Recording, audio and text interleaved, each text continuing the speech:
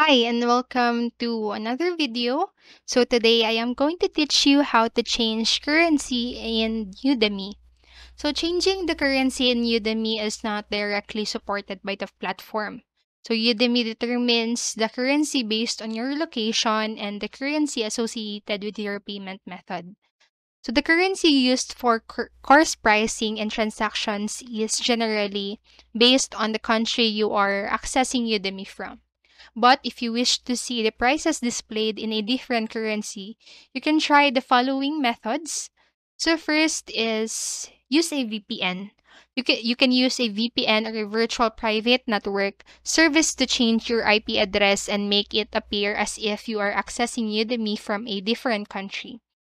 By connecting to a server located in a country with your preferred currency, you may see the course prices displayed in that currency. However, note that using a VPN may violate Udemy's terms of service, and it is always best to respect the platform's policies. Next is to change your account details. Update your account details in Udemy to re reflect a different country. This may include changing your account's address or the country associated with your payment method.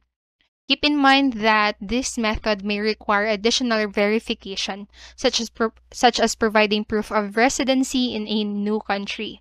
So next is to contact Udemy or to contact the company support. Reach out to, to Udemy's customer support and explain your request to change the currency. They may be able to provide further assistance or offer alternatives based on your specific situation. Remember that Udemy's currency and pricing are primarily based on the country associated with your account and payment method.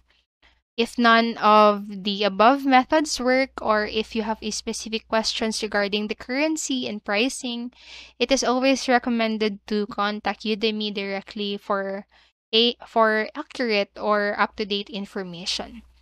And that is all. I hope you will like this video and subscribe to the channel and to click the notification bell button so you won't miss any video.